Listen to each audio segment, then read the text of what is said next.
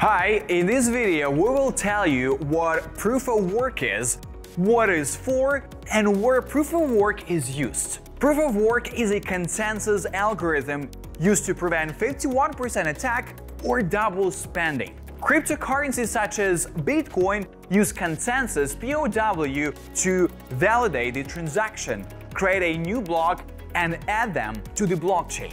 We will tell you about all these and more in this video, so watch carefully, it will be interesting. Modern cryptocurrencies have some differences in mining principles, features and other parameters. Often this is all due to the difference in the algorithm of data processing. The main extraction of electronic coins and the disclosure of blocks is made by miners, who are rewarded for their work. This remuneration is occurred to a certain participant of the information processing who was able to check the required number of transactions, assemble a new information block from this data, and connect it to the common circuit. Cryptocurrency developers had to create a tool that would help protect against various abuses, such as uncontrolled coin production and block formation without verification. Special mechanisms were developed to confirm the proofs made. There are several algorithms used in different cryptocurrencies. Their basis is to solve a mathematical problem with a high level of complexity, but is quite solvable. At the same time, verification of the solution should be much easier and faster than the solution process itself. One of the most widespread algorithms in proof of work, which is used in many electronic coins with leading positions in the world ranking. The history of the appearance of this mechanism dates back to 1993. It was created in order to protect users from spam in emails. At that time, the word combination that exists today did not exist yet, but the principle itself had already been developed. The name proof of work did not appear until 1999, and for the first time in practice, POW was used in 1997. The reason for launching it was all the same spam. When the creator of Bitcoin was faced with the problem of introducing extra protection, the choice of the system was obvious. He used a specified algorithm which has already been working in the Hashcash project for some time, and it successfully proved its effectiveness and efficiency. To calculate the hash function was used SHA-256, the former leader in 2008. This algorithm is used to mine Bitcoin and other cryptocurrencies that are based on it. Here it is required to pick up the block title hash. It consists of the hash of the previous block as well as the transaction block. The hash starts with some zeros. The solution to this problem is proof of block finding. Taking into account the fact that the non-reversible hash function is involved here, the problem can only be solved using the standard brute force method method. This satisfies all requirements because the problem becomes difficult enough to solve and the check is as simple and fast as possible. One of the most important nuances of the functioning of the algorithm, which is used in the blockchain, becomes the mechanism of actively changing the complexity of the task set. Even though the anti-spam mechanism is built in the same way, the complexity of the solution in it is constant. If we remove the dynamic change of complexity from proof of work, the issuance of cryptocurrency becomes uncontrollable. This is due to the increase in the overall computing power of the chain, which will inevitably lead to the issuance of a very large number of coins. By constantly changing the complexity, leading to an increasing complexity, it is possible to make the average search time for solutions around 10 minutes, despite the increasing power of the network. Due to the monotony of the tasks in the matching method, the complexity is regulated by the number of zeros at the beginning of the hash. This situation leads to an increase in the resource cost of finding a solution. Too high energy intensity of the task created the conditions for the search for a new algorithm. Proof of stake became became an alternative, where it is necessary to prove the fact of possession of a cryptocurrency instead of calculations. The algorithm provides quite a high degree of security for the operation of the circuit. It is enough to restrain the constant growth of the number of nodes and the rapid development of miners' equipment power. Thus, if someone decides to launch an attack on this blockchain, they need to have most of the processing power of the entire network. This is theoretically possible, but not feasible in practice. It is required to grow to 51% of the total, which is a very large number. If an attacker achieves this value, he can get almost all new coins without taking the rest into account. Even assuming that someone decides to invest in the hardware to reach 51% capacity and conduct an effective attack, it will prove to be economically disadvantageous for the fraudster himself. Chain attacks are also possible to conduct double spending, which is done with forks. This does not require controlling much of the power, but it also requires a lot of resources, which makes this type of fraud unprofitable. Attackers need to maintain the fork long enough for it not to depreciate. It's almost impossible to do this on your own. The main problem with this algorithm is that the calculations become more complex over time. Even with modern technical equipment with a lot of power, mining is quite slow and energy consuming.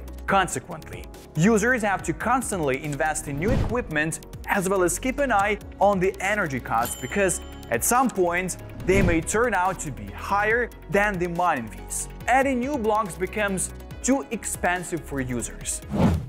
It should be noted that various projects were opened that sought to make good use of the too high energy costs from the mining farms. One such project was a heat house. All this did not become very popular, so the application of the algorithm is still energy consuming. This disadvantage sometimes turns out to be that the miner spends his resources without getting anything in return. The peculiarity of the algorithm is that the reward of the found block is received only by the node that was able to solve the problem. Thus, the others do not not get the reward, and their spent energy resources are not recouped. This applies not only to consumption of electricity, but also to the operating life of the equipment. For ordinary miners who try to do everything on their own and even invest in the development of farms, the proof of work algorithm becomes unprofitable for work. This situation turns out to be one of the main disadvantages, contrary to the basic principle of cryptocurrency decentralization. Mining resources are concentrated in the largest companies that influence the development development of the market. Although algorithms are created that interfere with ASIC miners, this has little effect.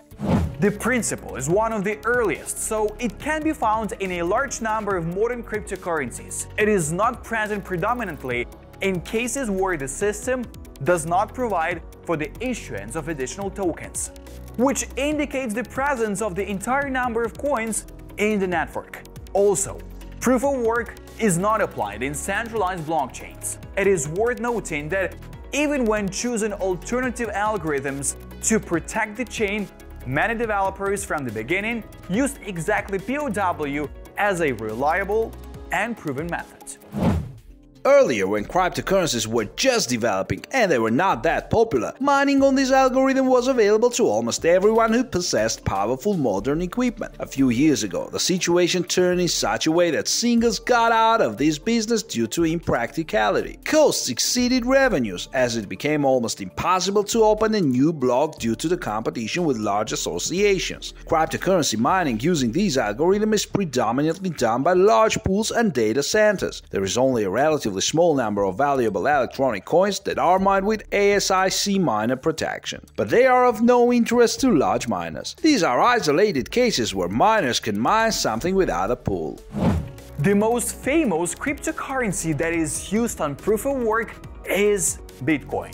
This is one indicator that the algorithm works reliably, and no one has yet managed to beat Bitcoin in reliability or popularity almost all of the basics of the validation principle remain in all other cryptocurrencies in the same form as they are implemented in Bitcoin. This applies not only to coins that appeared after the original currency's hard forward, but also to those that were created as independent from the very beginning. Their developers simply decided not to take the risk and use the existing developments which have been proven by several years of use. Ethereum cryptocurrency ranks second in the overall ranking of cryptocurrencies in the world. It also applies this principle, although the developers are going to move away from it soon. Ethash is applied here, with, which contains certain differences, but the basic essence of communication does not change here. The transition plan should pass gradually, and at first the hybrid system of proof of work and proof of stake will be used for confirmation. Then everything will switch to proof of stake. This transition should help keep hard forks out later on. The Monero cryptocurrency also uses this algorithm, but there is protection from ASIC mining. This is one example where such protection is successfully implemented. It has developed its protocol called CryptoNight. This allows you to use the built-in CPU instructions. Applying them to the technique with fast memory and weak frequency will be quite costly. The effectiveness of this cryptocurrency application depends not only how well the algorithm is developed, but also on the extremely high confidentiality of all transactions in the blockchain. It is almost impossible to track transactions here. The main advantage of POW lies in its reliability. This allows the consensus algorithm to remain relevant today, despite its longevity and the problems that arise. Developers looking to introduce something new still use proof of work to distribute tokens in the initial stages. All that said, it's too early to think about completely replacing the algorithm. It's more likely that the system will become hybrid in the future as the basic principles will remain the same, but innovations will be added to them, aimed at correcting major shortcomings. Experts believe that as long as Bitcoin's blockchain proof of work will remain relevant. Thank you for watching this video, stay tuned for more videos.